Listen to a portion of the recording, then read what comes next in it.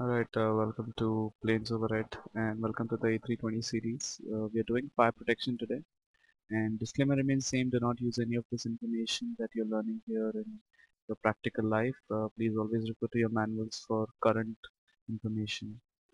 So fire protection is very important because uh, uh, fire is one of the most dangerous things that can happen to an aircraft.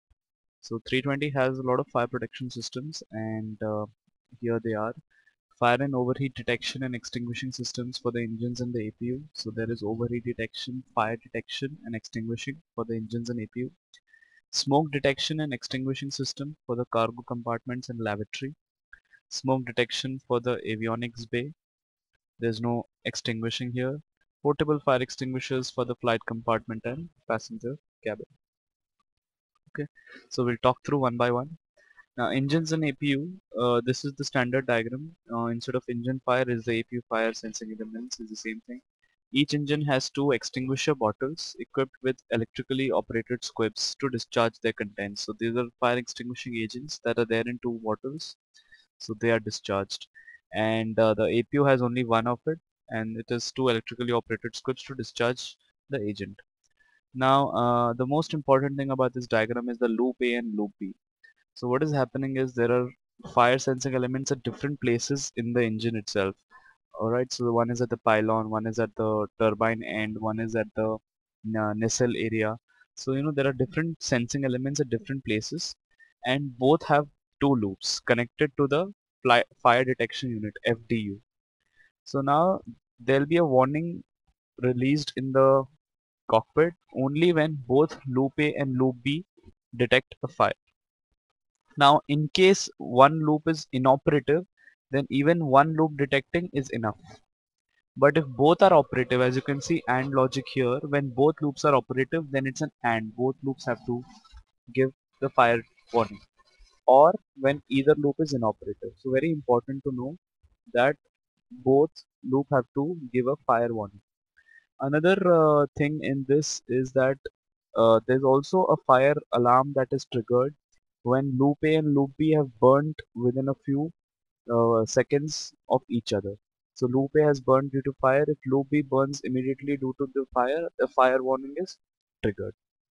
So there are three uh, sensing uh, element places and there are two loops that are connected to the fire detection unit and it sends the master warning ECAM and continuous repetitive chimes that is CRC. Alright, this is for both engines and APU. Now the, there's a fire push button for the engine and for the APU. We'll discuss about the engine what happens and we'll discuss about the APU what happens. Very important to know this. This is repetitively asked. So engines, it will if you press this fire push button on the overhead panel, it will silence the aural warning. It arms the extinguisher squibs. It shuts the low pressure fuel valve. Hydraulic fire shut off valve. Engine bleed valve is also shut. Backflow control valve is also shut cuts off the FADEC power supply, deactivates the IDG. All this is very important to know because you have to know what the sequence, what is happening. So, and after this, of course, uh, if you've cut the low pressure fuel valve, the engine is all uh, shutting down. The most important thing about this button is this action is irreversible. You cannot reverse it. If you have put the fire handle out once, you cannot reverse it back because you have deactivated the IDG, the FADEC has cut off the power, the power supply to the FADEC has been cut off and all these valves are shut so it's it's an irreversible action. In the case of an APU, first it just shuts down the APU, silences the aural warning, arms the squib on the APU fire extinguisher, closes the fuel valve, shuts off the APU fuel pump, very important as well, closes the APU bleed valve and cross bleed valve and deactivates the APU generator. So with this handle on the APU and on the engine, these are the actions that happen okay. Uh, if you guys uh, need time pause this uh, moment and note this down. Okay. Then uh, we'll talk about avionics bay. Now avionics bay is where all your computers are kept and uh, it doesn't have a fire extinguisher. Uh, so it is a, it has a smoke detector in the extraction duct of the avionics ventilation system which detects smoke in the avionics compartment. If you're not sure about all of this go back to the avionics ventilation video have a look you'll find the smoke detector there and on the emergency elect power plan overhead panel that's on the left side a smoke light comes on in amber along with a warning on the ECAM when smoke is detected in the duct.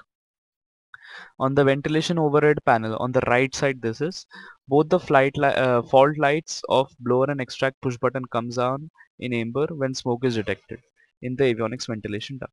Now this is you uh, guys can go to the avionics ventilation uh, video and talk about uh, uh, you can look up for that in smoke configuration what happens. So both the lights come out and then you do the smoke configuration to eliminate smoke and at least uh, throw it overboard and not allow the smoke to enter the uh, passenger area or cockpit for that matter. Okay? So there's no fire extinguishing in avionics bay. Lavatory. Now lavatory has a smoke detection system which has a one smoke detector in each lavatory a CIDS code decoder encoder unit that links the detector to the entire CIDS CIDS system. Now what is CIDS is? Cabin intercommunication data system which has uh, uh, contact with both the cockpit and the cabin. As you can see here's lavatory smoke detector. If there's some smoke detected in the lavatory it goes to the CIDS it's a system which generates both warning in cockpit and cabin crew cabin uh, where cabin crew can take necessary action. Each lavatory waste bin has an automatic fire extinguishing system as well. This is important. So the avionics bay doesn't but the lavatory have a fire automatic fire extinguishing system.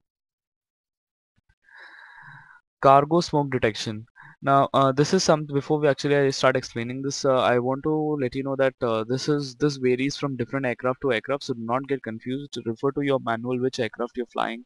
For example a 320 uh, Neo has a different system 321 has a different system 319 has a different system 320 enhanced has a different system.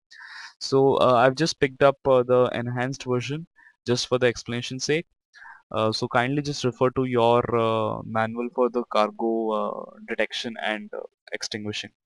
So cargo, this this cargo smoke panel on overhead panel and what happens is if there's a smoke detected same uh, principle both the loops. That's why it's an AND gate. Both the loops have to satisfy that the smoke has been detected.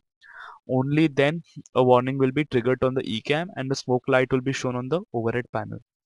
The forward has only one uh, two smoke detectors but the aft has four smoke detectors.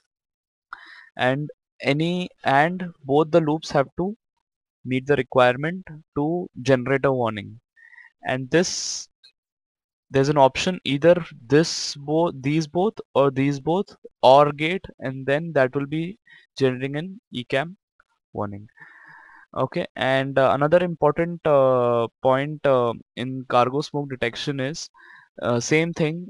If even if one loop is inoperative one loop giving warning will be considered. So it's an OR gate in case one loop is inoperative. Okay? And uh, let's talk about extinguishing. Uh, again this is going to vary a lot in different aircraft uh, different type I mean on the 320 family. I've just picked up the enhanced series again. So there are two uh, extinguishing bottles here bottle 1 and bottle 2 there is one nozzle in the forward cargo two nozzles in the aft cargo. And uh, the design is such that both the fire extinguishing bottles supply to both the forward and aft cargo so that you know in case anything happens to one there's a standby backup for the other one to discharge. So but you have to remember that there's one nozzle here and two nozzles in the aft. And there are two agents agent 1 and agent 2 now the agent 1 discharge light comes up here and after 60 minutes agent 2 discharge light will come to asking asking you to discharge the agent 2 this is to maintain the consistency of the agent in the cargo hold because you, cargo hold is a very uh, dangerous uh, fire uh, that can take place on an aircraft because a lot of uh, inflammable items are there because passengers are carrying a variety of things. So it is a very dangerous um, uh, you know fire uh, place to uh, fire to take place there. So hence uh, there's a time gap of 60 minutes so that the consistency is maintained and you can land within that time. So all you have to remember is there are two nozzles at the back and one nozzle in the front. And this is a pressure switch that releases the bottle pressure. And agent 1 and agent 2 I think yeah. So the smoke light is a smoke detector I just showed you in the previous slide. So I guess that's all and uh, we have discussed everything uh, let me just go back and check engines, APU done, cargo, lavatories, avionic bay, and portable fire extinguishers. Well, you can just refer your refer to your manuals what kind of uh, portable fire extinguisher is on board. There are both in the flight compartment depending on the passenger seating capacity. There are different uh, number of portable fire extinguishers that are carried and passenger cabin uh, and flight compartment. Flight compartment is the cockpit one, it has one and passenger cabin has a depends on your uh, number of passengers that are traveling. So that's all on uh, fire protection guys. I hope you enjoyed the video. Thanks for watching. Subscribe to the YouTube channel and like the Facebook page for regular updates. Give the video a thumbs up if you like this video and share it too so that everyone learns about it. And comment below if you have any doubts. You can find me on these links below on WhatsApp, email, Facebook or YouTube. Cheers and happy landings guys. Have a great day. Take care. Bye bye.